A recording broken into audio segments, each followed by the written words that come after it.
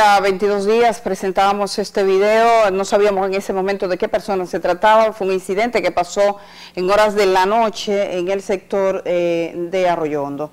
Esta persona iba desplazándose en un vehículo, que de hecho hay otro video que lo acredita, un vehículo blanco cuando se interpone un vehículo delante y otro por detrás, y salen unos sujetos y lo retienen. Él vocea, me están atracando, me están atracando y las personas que llevaban chalecos de la Dirección Nacional de Control de Drogas disparan eh, como si quisieran evitar que alguien acudiera en su auxilio. Este es el momento en el que va este vehículo que ven delante, este se le va a atravesar, ahí viene él y verán cómo hace la operación. Se le se, se, se interpone inmediatamente quiere avanzar, se interpone el otro vehículo y viene otro por detrás y él queda atrapado entre eh, estos dos vehículos. Mírenlo ahí cómo ocurrió.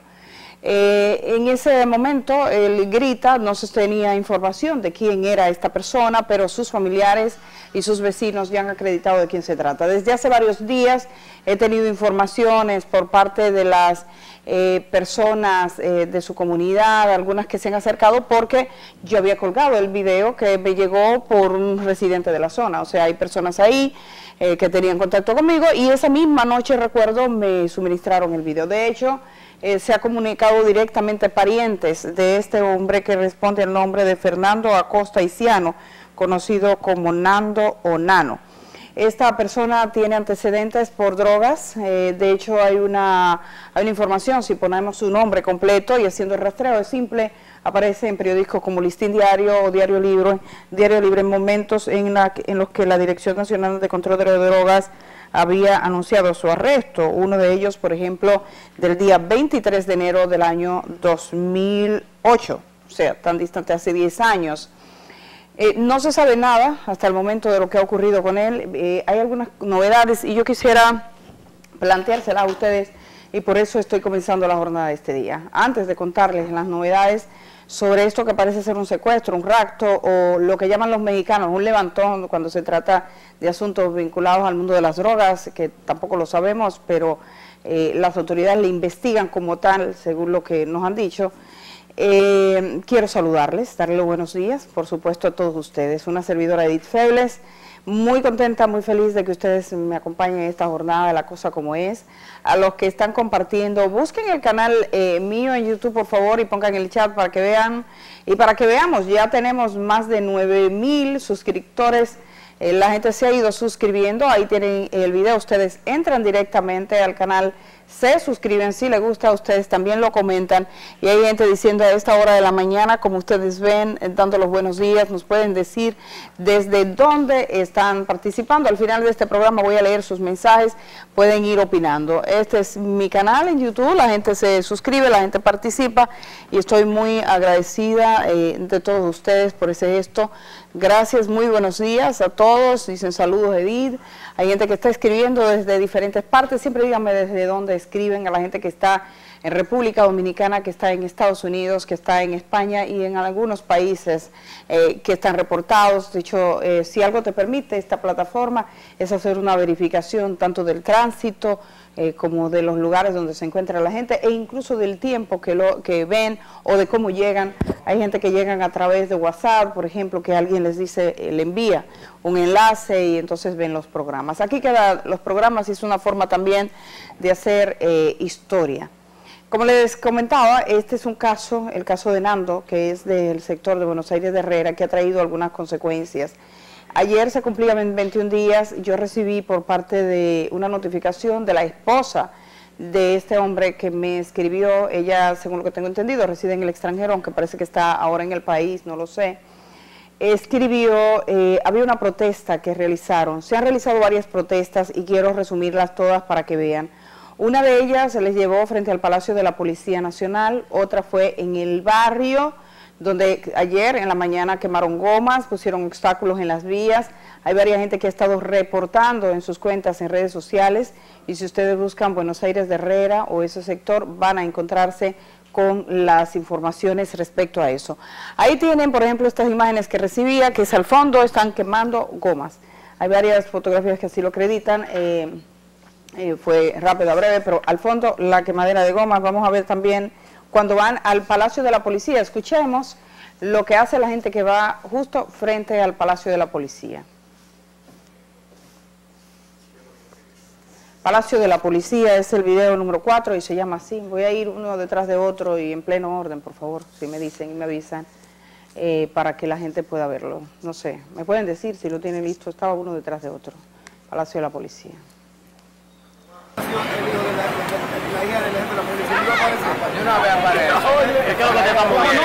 Estamos haciendo, estamos haciendo, estamos haciendo, estamos haciendo justicia hoy por Fernando Acosta, que está desaparecido hace 20 días y la policía no nos da respuesta de lo que está sucediendo. El capitán Ortiz tiene 20 días que cogió el caso y no ha resuelto nada y ha levantado cámara, fotos, videos y todo, carros y de todo y no tiene noticia para nosotros, no nos ha dado ninguna novedad. Ya estamos hartos de eso, tenemos 20 días en esto y queremos justicia, queremos hablar con el jefe de la policía para que nos aclare esto. Como ustedes pueden ver, estamos haciendo un piquete pacífico. Ahí están, eh, ellos decían que le daban un plazo al jefe de la policía de 20 minutos para que apareciera, por supuesto que no. Eh, salió un oficial de la policía y le combinaron a que se trasladaran, ustedes ven que es el entorno del Palacio de la Policía en la parte frontal, le combinaron a que pasaran al otro lado, que es donde está el Huacal, y la gente se trasladó hacia ese lado. Un oficial de la policía les decía, aquí no queremos desorden, no vengan a hacer desórdenes. Ellos decían que exigían una respuesta de la policía. Eh, posteriormente eh, hubo también una protesta en el barrio y ahí habló un hermano de este hombre, Fernando Isiano, Fernando Capellán Isiano, eh, y hablaron también algunos amigos. Rápidamente, yo solo quiero presentarles este caso es para que ustedes vayan viendo todo lo que se produce, que son hechos generalmente, por ejemplo, en los barrios, hay este tipo de situaciones que en la prensa usted ni se entera que eso está ocurriendo. Una cosa es la que vive la gente cuando lee los medios o escucha y ve. Y otra cosa, lo que se cocina en nuestros sectores, porque ustedes van a ver el video con el que yo voy a concluir eh, esto que estoy mostrándoles en el día de hoy. Vámonos con el hermano, que fue el que habló eh, cuando se organizó la comunidad.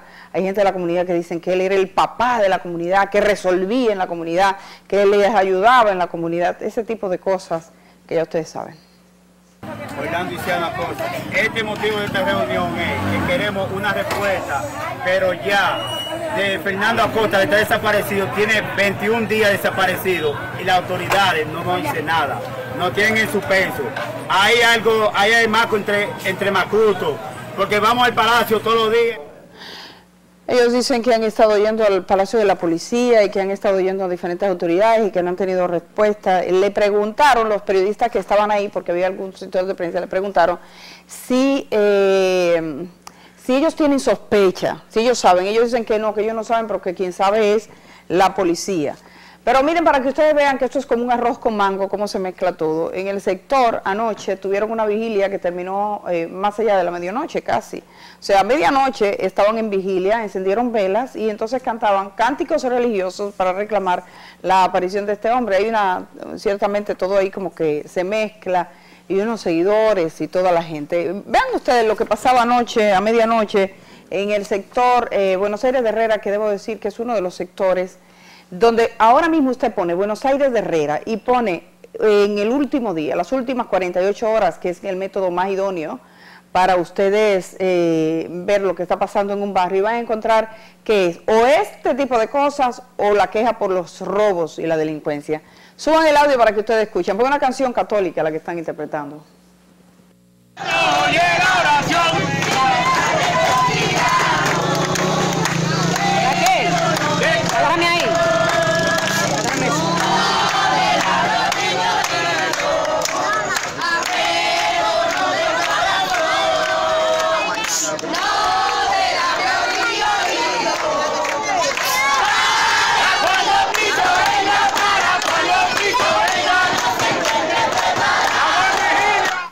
Bueno, ahí tienen ustedes entonces cantando canciones cristianas y demás. Esto pasa en nuestras comunidades. Una cosa es la realidad eh, que uno cree que se vive y otra cosa es lo que realmente se cocina en los barrios nuestros.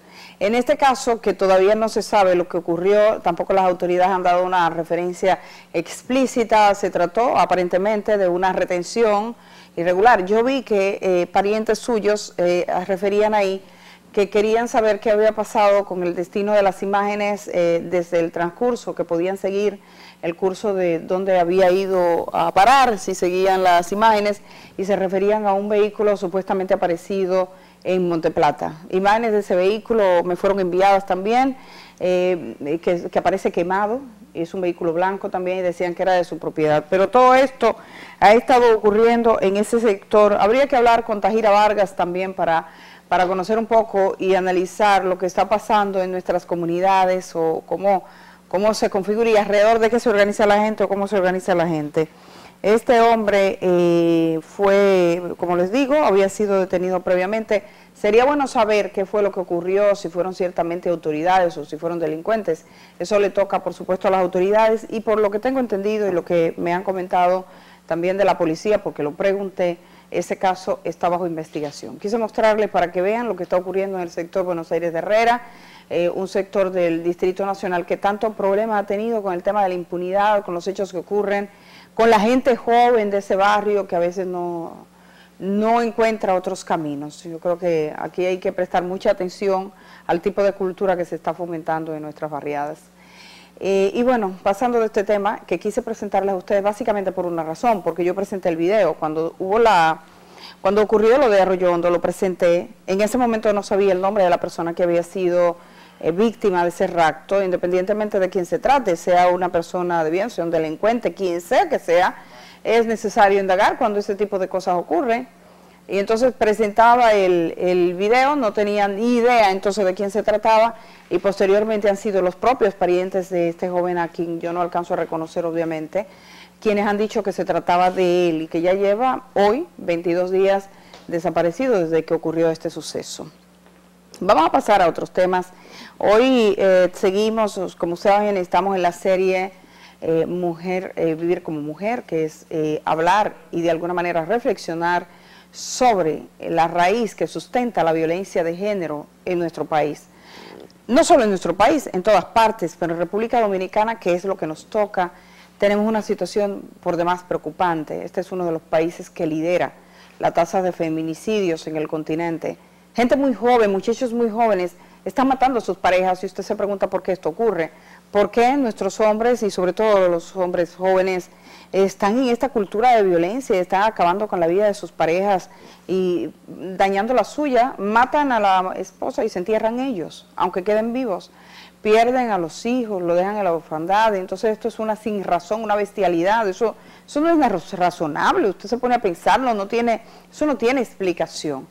Sin embargo, uno dice, bueno, ¿cuál es la base de nuestra cultura? ¿Qué es lo que nosotros estamos consumiendo que nos hace ser así? Y entonces vemos que aquí se tolera mucho la violencia callejera, por ejemplo, el acoso callejero, el lenguaje que se utiliza, el acoso en los centros de trabajo, que usted ve gente que sabe que el otro es acosador. Ay, sí, pana, mi amigo. Señor, si usted, mira que hay una cosa, una trampa que me pusieron. Si usted eh, ve a una gente acosando y usted es caballero, usted no lo apoya, usted le dice, no, mire hermano, pare. Yo no, yo no hago coro con acosadores. No, pare yo no soy amiga suya, no. No haga coro con gente que usted ve que es violenta, si usted es vecino. Eh, y entonces, en esta serie hemos ido tratando diferentes capítulos que ustedes lo han ido mirando. Hemos dicho que tenemos 10 programas grabados y 5 en vivo. Aunque nos faltan grabados, hoy hemos decidido hacer un programa en vivo que lo habíamos prometido porque tuvimos aquí a Excel Baez, que es un cineasta, presentando El Minuto, que es un minuto de cine con diferentes temáticas. Y este año la temática es la violencia contra las mujeres. Ese premio se dio anoche, anoche se premiaron los tres primeros lugares y hoy se lo vamos a mostrar aquí. Excel Baez está en nuestros estudios, es un trabajo sobre todo de gente joven que llama a la conciencia y quiero eh, presentárselos. Así que vamos a ir a la pausa y cuando regresemos vamos a estar con él, con Excel Baez.